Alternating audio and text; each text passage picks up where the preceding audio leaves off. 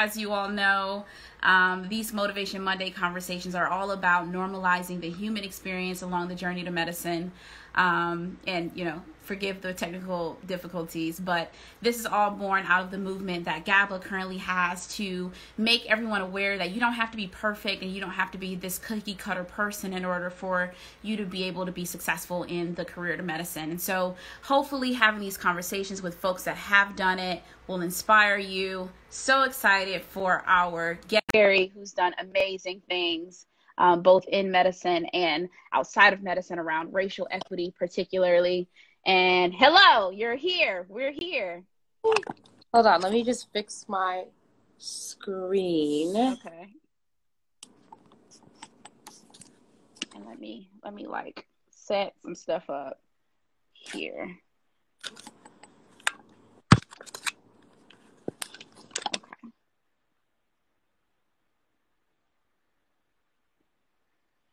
Okay. I feel like we both are we good? Yes. we made it. How are you today? I'm good. How are you? Let me see. I'm, I'm so good. I'm so glad that you're here. And after such an amazing talk yesterday. Yeah, great. Oh my God, it was so great. Um, so, y'all don't know this, but Dr. Chery is taking over the world one conversation at a time. And I'm going to not even try to explain all the magnificent things that she's done um, and give her the floor to really give a little bit about her background um, and then roll right into that, that awesome question, which is what was your journey to medicine like? So let's do this. Um, hi, everybody. My name is Dr. Magdala Chery. Most of my friends know me as Maggie or Mag or Dr. Chery or whatever. Mag, Mag, make it happen. So, um, but I'm a board certified internist. I practice internal medicine um, in the primary care setting. Um, and I was actually in academia for three years after residency. I'm a proud DO, so I went to the DO Med School in New Jersey. Um, I had got my master's before that. And then I went to UConn for internal medicine with a distinction in primary care because I always knew I wanted to do primary care. And then following that, I went to the academic space. Um, did that for three years. We'll talk about that. But um, I will always say that my passion was always uh, delivery, healthcare delivery, primary care healthcare delivery, how I could bring my expertise and really just imagine primary care differently. Mm-hmm. Practice, although I loved inspiring students, I loved the academia part. I knew that I wasn't getting the thrill that I wanted in the primary care part, and I wanted to do more. I wanted to reach my patients more. So I was like, what can I get for additional training? And then I was always following the Commonwealth Fund Fellowship in Minority Health Policy because I saw a lot of their graduates were doing some amazing stuff um, mm-hmm. for the Black community for minority health. So I applied. I'm there now. So I'm finishing up the later half of the fellowship year, which is one year at Harvard University. So that's what I'm doing now. Um, other things about me or what I do I'm also the creator of the Not Just a Black Body campaign, hashtag Not Just a Black Body. Background, it came about um, Addison tragedy. I lost both of my parents to the pandemic, um, to COVID 19 in the pandemic. My father would die first and would die not just from COVID complications, but also from um, just the hospital. Non patients are dying disproportionately. So seeing what was happening and seeing the narrative, so everybody kept talking about black people can't get COVID. It's not really real. I was like, uh, it's very real. It's very me. real. exactly. So yeah. movement became about. And specifically, as I was leaving the hospital trying to advocate for my father, because typically when anybody goes to the hospital, I stay there mm-hmm. and I advocate and I'm explaining things. Um, I noticed that they just, it was so haphazard because it's, it's literally like a disaster zone. They're just trying to like plug mm-hmm. things. And I specifically said to the staff, like, I need you to understand he's not just a black body. He's mm-hmm. a father, he's a grandfather, um, he's a preacher, he's a lot of things. He's not just a black body and, and value his life as such, just as we do in our mm-hmm. community. Um, so after that, it just really became a bigger movement than just my family story, just a movement of we're not just black bodies. Our body mm-hmm. dying, we're being manipulated, we're being abused, we're not mm-hmm. being appreciated. And guess what? Like I'm not okay with it. So um, that's the movement. I've joined. I've joined with Dr. Jessica, who's a community psychiatrist out of Connecticut, and Dr. Sabrina, who's in New York, who's also an internal medicine doctor. And we're going to be launching some amazing stuff. So follow not just a black body on Instagram and follow the hashtag. And um, yeah, that's where I'm at right now. Just cultivating my voice. Um, being continuing my path to being authentic in medicine and trying to inspire students and trainees along the way. Yes, I love it. I love it. Now, obviously, y'all are listening. Y'all are hearing all these amazing things that she's accomplished over the course of her career. Um, but you're also hearing like the real human journey of having to deal with like being in the skin, being of diverse background, family loss, and and and having to kind of navigate that. And I think you said a really important word, which is authenticity. Mm-hmm. Um, and so I'm wondering, like, in terms of being authentic in your journey to medicine, how have you had some pushback with that authenticity? And then what was your journey to really grounding yourself in the reality of your own experience? Ooh, okay, that's a lot. So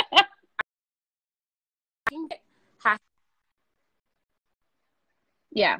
When I go natural. I go natural and see I've always if you know my friends laugh, I'm the last one to go natural in the group essentially. Mm-hmm. Like we will never thought Maggie would her long black hair, her silky black hair. That's that's the only way to be um, fully professional. And I bought yeah. into westernized view um, and this white supremacist view of professionalism. So the the going natural was the breaking point. The need to embrace being authentic was really mm-hmm. birthed out of everything happening in our world. So I would be in med school towards the latter part of med school and in training, you know, shortly after the Tra- Trayvon Martin situation. Yeah essentially, and all the things after, and then the white coats for Black Lives were birthed right as I was graduating, going to residency. Yeah. I remember this moment where I was in the hospital mm-hmm. where I'm seeing the things happening on the news in the car room, but no one really discussing it. Discussing it, yeah. It was like the silent, the, yeah, yo, yeah, silent, yeah. and then it was that it was going. It was like having to hide into the car room to to understand like what was happening on TV, but then going into the hallways of the hospital and seeing people treat you differently and look at you yeah. differently with a white coat on. So yeah. in mind, I remember specifically saying there's no difference between the hoodie and the white coat. All they see is black skin. Yeah. So if all they're going to see is black skin, the conforming, the assimilation, the projecting of what they want to see is not working. Yeah. And I feel myself. I feel like right. this little part of me that's not mm-hmm. fully me. Yeah. So in that case, like just be me. I, yeah. Simple, but it's also this journey of womanhood and embracing what it means to be bold, be loud, seek yeah. power. We're not allowed to talk about those things, but I do want those things so I can actually make change in the community. And for me, as a person who's of um, Haitian descent, that's also another layer because that's not what I'm told. I defeat what I'm talking in professional school and just really just cultivate this authentic voice. Yeah. Um, but I think it goes down to always feeling like something was missing. It was yeah. Boards. It was beyond grades. It was beyond, uh, you know, having the right mentors. But something didn't feel right. Right. And feel right is I was doing all those things without being myself. Yeah, yeah. So like we talk a lot about on this show about how important it is to really ground yourself in like yourself, like run your own race. And mm. I think, you know, just like you hit on the head, like, especially for people that are coming to this journey from diverse backgrounds, from the non white, non crisp, um, you know, linear background, like, that is a factor in your ability to succeed. Mm. Um, and so, like, I, I just wonder, you know, in having had that journey, um, and and seeing like your diverse patients and what they go through, how do you feel that you being grounded in yourself has actually impacted your ability to, to take care of patients and be successful as a doctor? Oh man, so I think it's helped me tap into so you get all this training, right? You you learn a new language. I tell people the medical terminology is in a whole new language. Mm-hmm. So you learn a new language, you know you learn a new way of comporting yourself and and becoming this, you know, revered professional and leader, but your community doesn't recognize that. Right, right It's the person who now she thinks she's better than everybody. She's right, right. So then you're torn because you feel, and, and and this is something that's coming up a lot too as Black doctors are taking the vaccine in this conversation about people feeling like we're traitors, right? Yeah. You've now had to put on this new mask and this new veil, this new language, so you could fit in there. Yeah. How do you bring your experiences from before med school? So that's what it's been for me this ability to, to just say, okay, I got this knowledge. I'm grateful for this privilege. But now, Maggie, and I say Maggie in particular because it's not Dr. Now, Yeah. Matt, tap Yeah. into experiences from outside of medicine. Tap into what it was like and why people respect the church and why the how your hair can help you connect and Yeah. that you remember from your upbringing and put that with medical terminology. Yeah. That with what you learned in med school. And that just gives you a whole nother level of being able to care for patients, especially in the primary care setting. So it's more than just how smart you are, your board scores, but your patients don't care about that. They Yeah. They have you tell me your board score so I can determine if I'm going to pick you as my doctor. yeah. Dr. yeah. Saw you on social media, and first of all, I love that hair. And once exactly. I said I was about it. Dr. Yeah. Chery, about you at my church. I heard about you from a family friend who said they felt comfortable with you. They felt safe in your office. That is what leads me, right? So Yeah. I think that's the part. Like it's not, it may not make sense now as you're going through training, but even after training, even during training, this is you are the expertise in being black. Yeah. You're black. I'm an expert in being a black woman, my black woman, right? Mhm. And my womanhood. Bring that expertise to the table and combine it with medicine. Yeah, yeah, I love that. So I'm imagining when you changed your hair, where were you? Are you in medical school or were you after medical I- school? You were after medical school? Sorry, I don't know why I'm having the tech the technical issues I'm having today. I cannot. Um, what was the what was the backlash like? I'm asking because I know that is like it's like when I decided to lock my hair. I remember it being not just a conversation with myself and like what I want to do. It was also like I had to consider all these other people. Suddenly, like what I wear on my head is very political. Um, and you know, you have to kind of fill that in. Like, what was the reaction like? Did you get any any backlash? Uh, the biggest backlash was my mother. Really? Yeah. And I think we don't talk about that enough. She was like, What are you going to do? Like, are you going to Yeah. be professional anymore? You're going to, Yeah. and you're like, It's not good. And I actually scheduled my visit to, to cut my hair. So I cut it into a bob first and like let Yeah. that out to Yeah. trans. So it was first the cut. She didn't even fully know that I was actually going to go completely now.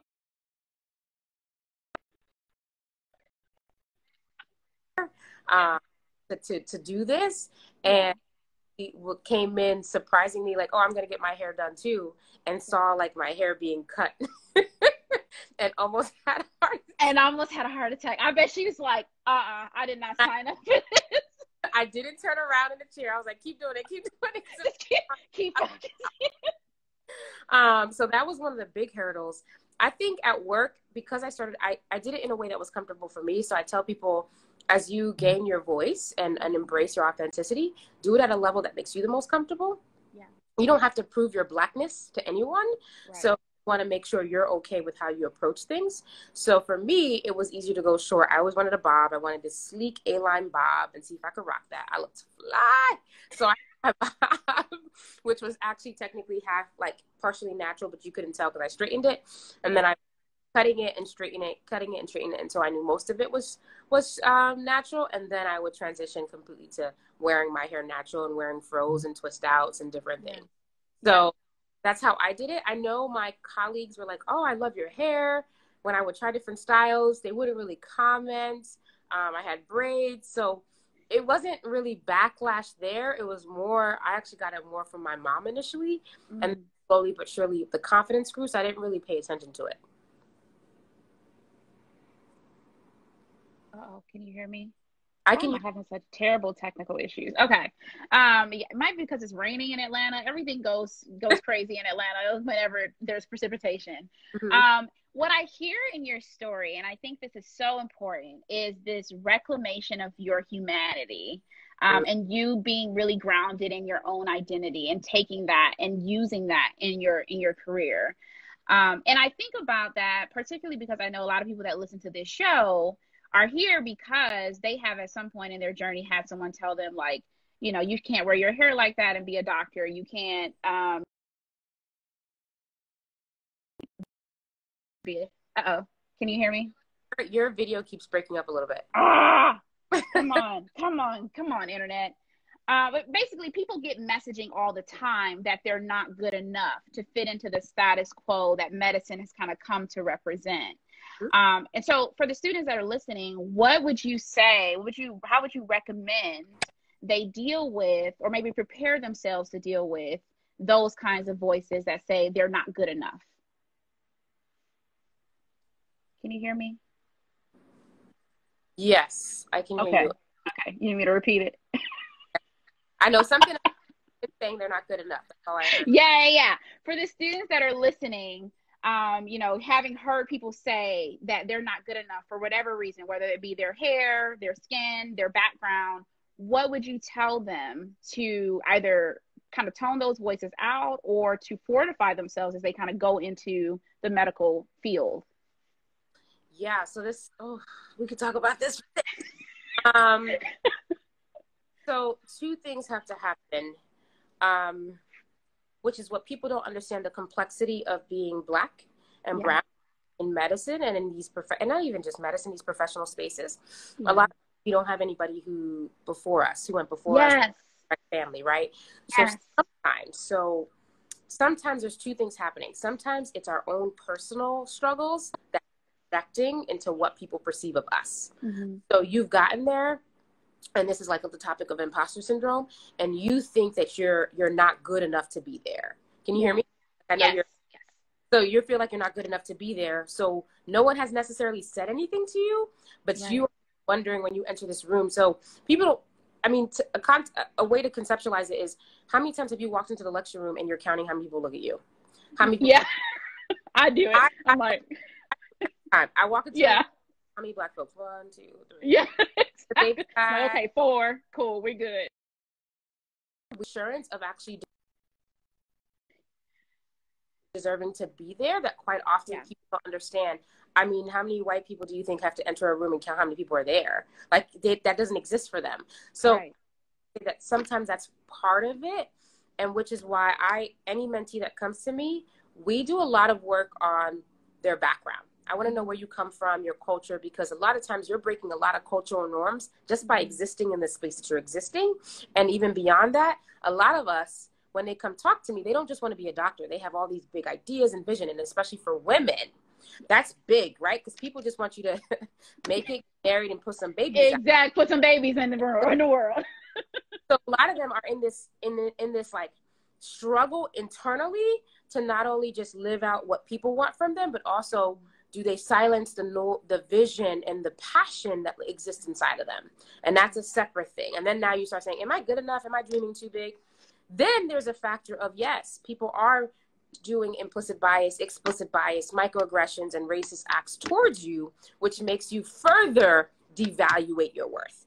So there's two pieces of work that needs to be done the first part is that internal work. So we don't really celebrate that in medicine because once you're in, people think, okay, it's all about grades. No, no, no.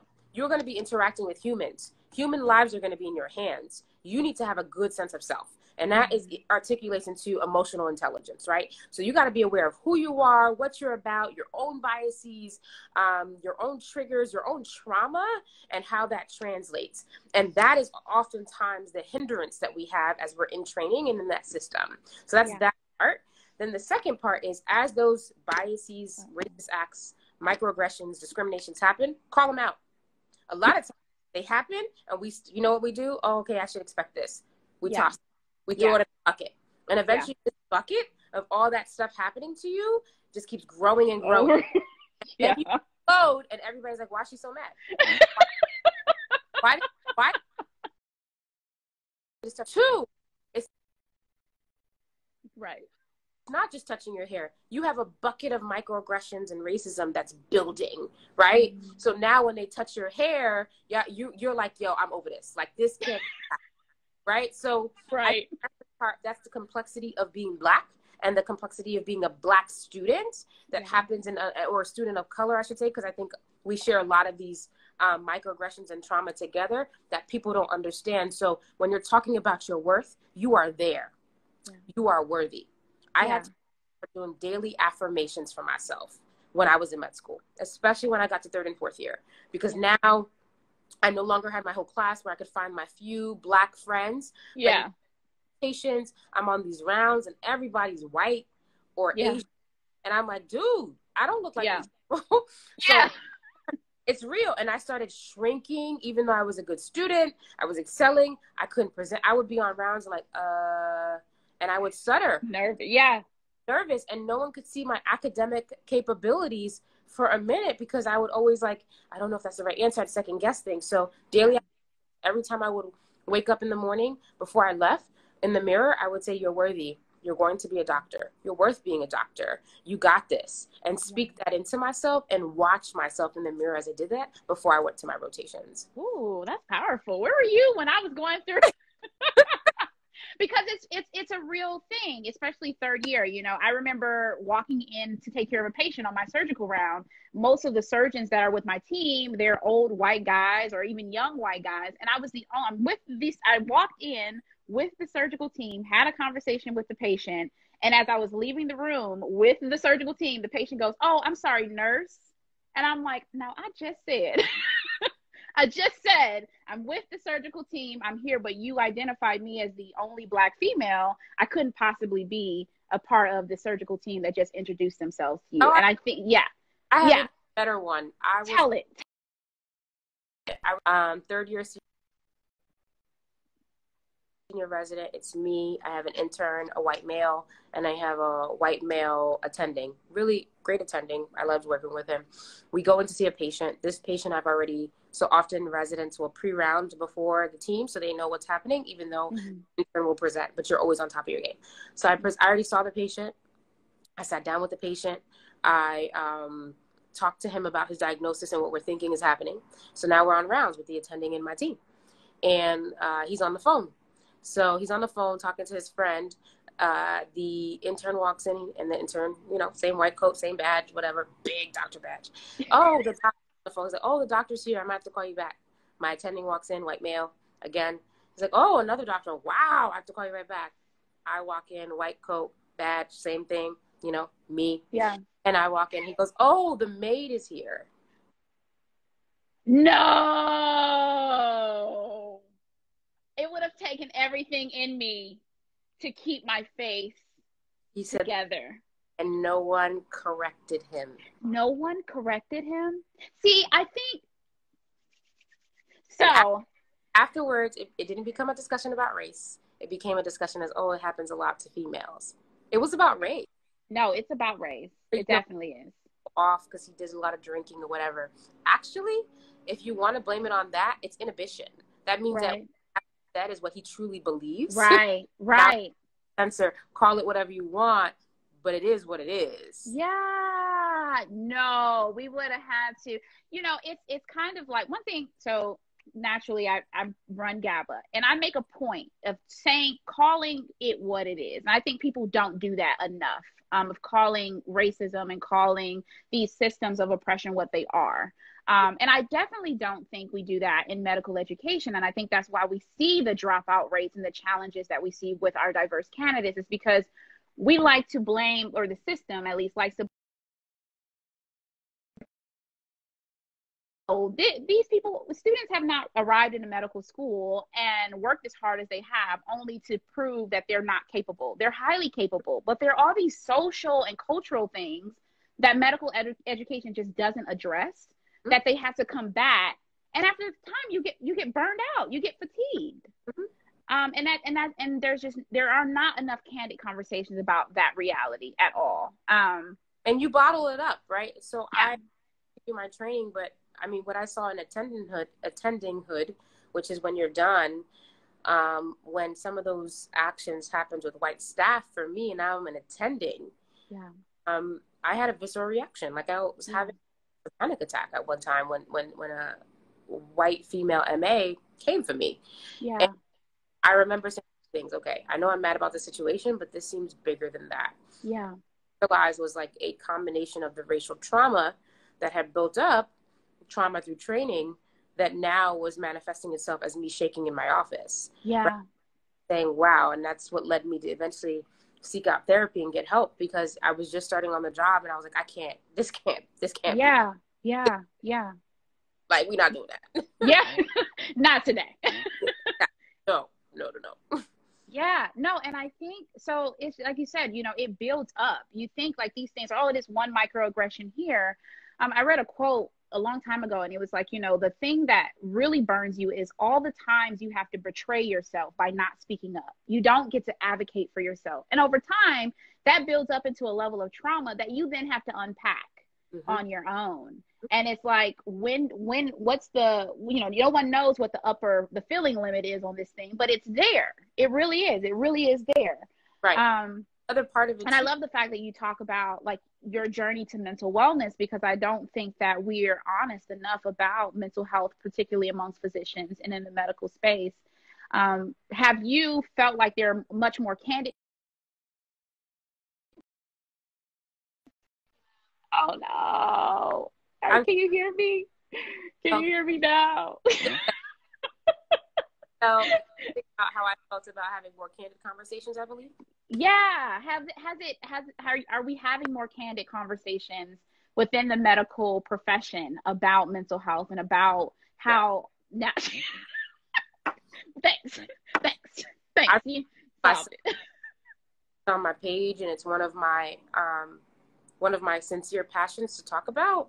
Yeah. Um, I've used my own journey um, of grieving and what that became for me to share. But nah, we're not talking about it. I mean, that's one things that I'm extremely afraid of. I think mental health workers, uh, our healthcare workers, um, are going to be burnt. Yeah. And I'm really, I sincere, it sincerely pains me to yeah. see that our country doesn't get it. Like we, I mean, let's use this pandemic. We have doctors who have literally been at this for a year. We may have went into lockdown in March, but they were seeing some shit happen. Excuse me, happen in the hospital yeah. a long time and couldn't really speak it because they didn't even understand what was happening because we were not getting information properly, right? right? So to me, I'm like healthcare workers and frontline workers have been at it for a year. Yeah. We didn't know what was happening, but especially in the hospitals, as numbers. I remember some of my residents saying Dr. Chery, I'm reading up on stuff because something's happening in the hospital. It's not flu. They're not coming up flu positive, but I keep intubating people. I wow. keep getting respiratory symptoms, and I'm internal medicine, so we were seeing that a lot. And I was like, really? And I remember one dis- distinctly, my resident was like, "Yo, Dr. Chery, something not, something not adding up," and she would be right. reading other stuff. I'm like, "Well, tell me what you find," because right. I in January and February, and then March is when everything hits. So a year of this, a year of watching people die a year. Not being able to tell your family and friends what's really happening, a year of you trying to process your emotions and being away from family and not, no, we're not gonna be okay. Let alone with everybody in society, trauma and businesses closing, yeah, and financial hardship. Man, if we don't make public health uh, and an emergency in regards to mental health, we yes. are dire problems. And I hope yeah administration. I've been tweeting it and putting it out. not, not, it needs to be on Biden and Harris's agenda. Yeah. And, if you want to take it to the next level, think about what happened last week. That was traumatizing. Yeah. Yes. That was traumatizing for people like themselves who saw how a whole a whole group of people got treated differently. Because let's be real, if it was us, we would have. Oh, oh, yeah. Oh, it would have. Oh, Yo, no, we wouldn't even have touched the ground. Are you kidding me? Left the Capitol in body bags. In body bags. Oh no, it would have. Oh, it'd have been a done deal. Oh, we, it absolutely wouldn't have happened the same way. Body bags. So the fact that we are merely existing after watching that is another level and insult to our mental health. Yeah, yeah, yeah, yeah. Papa Doodle saying, you know, healthcare workers after this pandemic, it's going to be like a PTSD, a whole nother form of PTSD. Yep. But if and and I would even argue that it's already here. You know, we talk about physician burnout. I lived. I tweeted that in my one of my posts when people were like, "Oh my gosh, we're so excited about your strength." I said, "Listen, you want you want to know what this strength looks like? Right? like I can't remember things. I can't sleep. I can't yeah. hear. I can't do certain things. I'm walking around with a notebook to recall my yeah. memory like dude like if you want to celebrate it celebrate what all of us are going through as we process stuff not just the grief but what we saw. So yeah, we just have to have more people have to sound the alarm. I know it's hard because some people are worried about their licenses their standing in the academic world and things like that but we need some honest conversations about mental health. absolutely do. It's not happening. Absolutely. people are starting to talk about it but they mask it as wellness. That's just nonsense. No that's a totally different yeah and I, and i dang, it's like we had like because I'm like, that's a totally different conversation. That illness, and then it's usually like, no, no, no, no. You don't make well what's already sick. We have to roll this thing back, treat the illness, Mm. treat the underlying problem, and then we can talk about wellness. And I think we could all agree in the medical profession that there is a sickness amongst medical professionals that hasn't been talked about as candidly as it needs to be. Um, Yep. Yeah. I mean, even when it comes to just physician suicide rates, we don't hear about that. And I don't even know what that number is now. Um, Exactly. Exactly. And I, I mean, for all we know, that number is even higher, higher than ever. Yeah, yeah, yeah. When you talked about earlier, when you talked about how um, you were able to really ground in your sense of self and in your identity, you talked about how that really changed. That got harder as you got to third year and fourth year, where you didn't have your your nest of folks that you were gonna that looked like you that understood your struggle. Um, and I feel like that really highlights the importance of building your nest, or like I say, I tell people, build your nest of people that understand in building your nest of folks, were there things in particular that you considered about, hey, these are the kind of people I need around me for this journey? Or was it kind of just like, hey, just a, a, a convenient sample, or if you will? Uh, building. So I call it building my tribe. Yeah. Tribe. That's how I term it. Um, Yeah. And my tribe for me is outside of medicine. So I tell my mentees and other people, um, like, who are the people who helped you get here? And granted, I know we about some people, you know, don't understand your struggle and it's going to be hard to have certain conversations, but I believe in cultivating your tribe outside of your actual.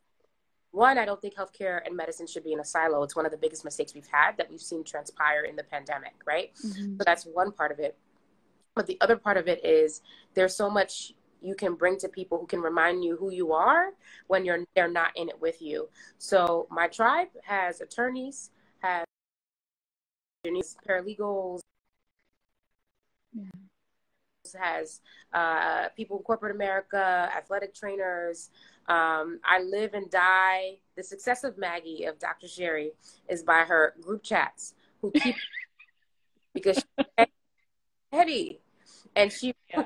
will go come for people in the emails. So my tribe on the outskirts, reel me back in. before somebody before somebody get hurt. Not only reel me back in, but also provide me validation. So a lot of times when I see certain things, they're like, "No, Maggie, you've been about that work." They don't understand that. Um, let me let's help us. Let's help you regroup into what your bigger mission is. Um, what, whatever that is, they reel me back in my faith. So when I start doubting, they're like, "But you know your source. You know what's important to you. You know what you believe in." They reel me back in in my bigger vision. So when I'm getting confused about where I'm going, they're like, "No, no, no. Remember, you always said you wanted this. You always Right. said you wanted that." So for I tell people not only to have that in medicine when you can, but really outside of medicine. Like I have some dope friends and Yeah. dope people that I know. I mean, one person I spoke to today, she she um she married a friend in my intimate circle. Um, she's a judge. I mean, and she's thirty. She's in her thirties. She's a judge Oh, in New wow. right, exactly, Yeah. and a Haitian woman, right? Wow.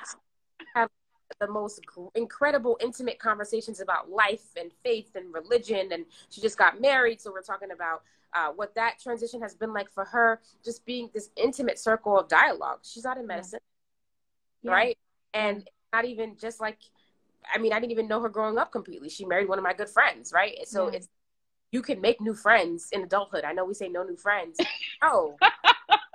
Really bad that's a really bad habit. Yes. Not even the people outside of your field, but think about as you elevate, as you go to new places, you're going to meet new people. Be okay with that. Be okay Yes. with entering people who not only celebrate you, but love that and i love that you have folks outside of medicine because it's very much you get this this the messaging that people aren't going to understand what you're going through but you really do need those people that are going to remind you why you started this journey Yep. yeah i tell mentees hey stay grounded in the why stay grounded in the why there are going to be people left and right of you that tell you you can't do it because you got a c on this and a b on that and you i don't know you didn't do 2 million volunteer hours but if you stay grounded in the why um, and and have your your tribe, like you say, to remind you of that why, then that makes the journey less daunting mm-hmm. um, at times. Um, and yeah, so I, I I know that we've talked a lot about your work surrounding racial equity and justice, um, and the hashtag not not just a black body campaign, and I love that. Um, for folks that are wanting to kind of get more involved, learn more about that movement, how can they find you? What can we as a community do to rally around that message and and and keep the conversation going? Oh, absolutely. Great question. So, um, we have an Instagram page. So, if people want to just stay in tune with what's happening, um, go to my direct profile on Instagram, uh, Dr. Magdala Chery. Right in my profile, you'll see founder of Not Just a Black Body Campaign. They can click on it and follow. Um, our website was up, but we are relaunching with some exciting mm-hmm. stuff and the announcement of our new leadership that's joining me on this movement. So that's going to be releasing towards the end of the month, if not early next month. It's intentionally taking a minute because we want to make sure we do this right. Um, and we want to make sure we can outline where we need help and people can get involved. So especially for med students who are looking for something different to do, um, but also have on their resume to speak to the work that speaks to them, we're going to have a, lots of opportunities to really engage. And we also want to engage people outside of medicine. That's actually one of our big agenda goals, which is why we're being intentional with the rollout because we don't want just doctors. We want yeah nurses, doulas, um, people in law school, people yeah. who are in politics, people who are in social work, people who are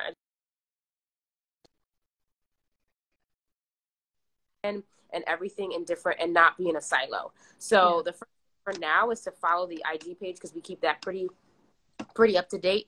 We'll be launching the relaunch of the website too, soon, um, and then also on Sundays at eight o'clock, I have a um, I host a room with the two other leaders uh, on Clubhouse. So if you have the Clubhouse app, uh, make sure you follow me on there, and then you'll be able to see when I'm having those discussions. And they're amazing, y'all. So if you don't do anything today that is what you need to do on your Sunday. I got lucky. I got to come to one. Uh, and they talk of, of like amazing, amazing wisdom about um, liberation and healing, and not just in medicine, but just as people. Uh, we got to start talking about this thing as a human experience and not just a medical experience, um, which is what Dr. Chery is all about. Certainly, what we're about at GABA about building community um, around this humanness of of medicine because that's actually where you get to heal and have an impact on your patients. And actually do healing because our system is not set up for healing. Oh no. Right? No, it's set up for money. Yeah. people under that yeah. We've had some discussions okay? But that one i had my notebook out okay? Sitting there like yo i have three late like near one o'clock like actually looking up into i read the Uche an Oni Blackstock article mm. about um, uh, the, the, Black Panther and Young Lords movement in the in in um, in in advocacy for healthcare, and I was like, yeah, oh, this is inspiration. I know.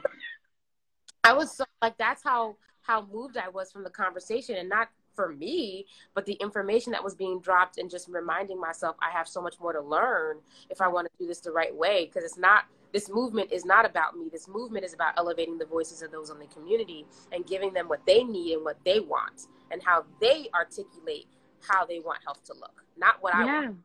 So yeah. I'm excited. Y'all not ready. I'm Take me with you. like this is amazing work and it needs all hands on deck. I really do think that, you know, COVID I COVID is terrible, but I think it forced us all to sit still and really and reflect and pay attention to some really important issues in our country and in our healthcare system. Um, and that that one that one is a is a huge one. Um, it's not enough to just recruit black talent to our medical programs if we're not taking care of them, and it's not enough to just have black professionals out there if we're not empowering their voices and empowering their ability to create change. Like, yep, it's like what's real representation? Is representation just putting me on your photo op? Right, exactly. me in the room and asking me, asking me to please impart my knowledge and my expertise as a black person, as a person who relates to the black community, and not just mine because I'm a black um, woman who's the daughter of immigrant parents. But what about other black? We're not a monolith. There's there's so much to our dialogue and who we are. There's intersectionality as well. So when we say representation, are you really about representation? Because right. diversity is not just a photo op. It's not right. diversity is a collaboration and it's also it's twofold. It's you saying not only do I want you here, but I want your representation, whether it's sexual orientation, mm-hmm. race, um, everything, every background you can think about, but also diversity in thought, diversity in implementation, diversity in expertise, diversity in experiences. I want that to the table. And because I, I know your value and your worthiness, I not only want you present, I want your voice. I want you to lead. I give you the tools, but you're supposed to lead. And we don't do that enough in academia. We don't do that enough in healthcare. It's the same conforming, and I'm I'm tired. I'm done. I'm yeah, done. yeah, yeah, yeah. Same, and that's that's what this conversation is about. I'm so glad that you're here. I'm really like I I really can't. So folks that are listening, usually around the like the 10 minute mark, I start asking for questions from those of you are that are back and see if I saw something. Um, yeah, Papa Doodle's like it takes a village. So glad that you have your tribe. Um, and definitely stay away from people who drain you. You don't need that kind of energy in your life. Uh, you don't need that kind of energy. Like, you know, I had a student, a mentoring session a couple days ago with a student who said that, you know, she had a friend who was really negative about her journey and about her grades. And I'm like, that's not a friend. You know, we yep. gotta silence that person. That's that's not a friend. We gotta get that person out of here. Um, and I think that's really important, particularly if you are of diverse background. Um, let me see if we have anything else in here about healthcare. We said that one. Oh, let me see.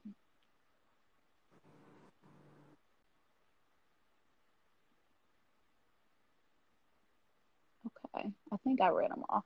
Sometimes I'm scrolling so fast, and I wish, you know, I'm like an old lady looking at this thing because the font is like in nine font, and I'm like, did I have any more questions in the thing? um, um, yeah, I'm like, let me see. Takes a village self care. Uh, question What would you tell med students who internalize that they are not good test takers? Okay. Um, all right. Hmm, there's so many levels to that. Okay, so I think the idea of not being a good test taker is a thing, but it doesn't mean you can't get better. Right. So I think it's one thing to accept that and come to the conclusion that taking tests is a difficulty for you, but now we have to unpack what's the difficulty. Is it a mental thing and a mental and emotional mm-hmm. where to the point that you just made you're internalizing that you're not good enough to do well? That's mm-hmm. that's something we can work through. And one, is there some test anxiety there?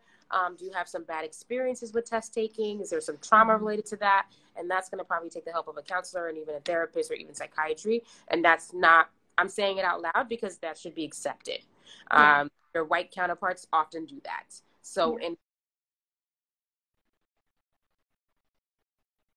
is it's okay to up your study skills. You may be a bad test taker for particular reasons. Maybe you study the knowledge, but you don't know how to apply it.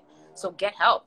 So yeah. don't internalize a you thing, right? I can't do certain things. I can't play a certain instrument. What am I going to internalize it when I pick up the piano and I do what I like? I don't do that. Right.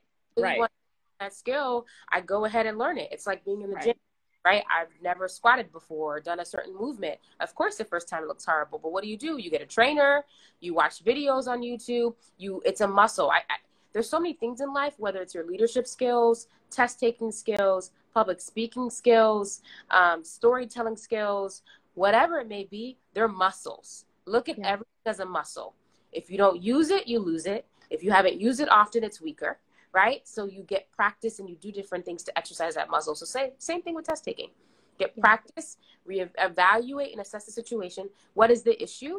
Get a better sense of clarity with that. Get help to get you a better sense of clarity, and then exercise that muscle to do better.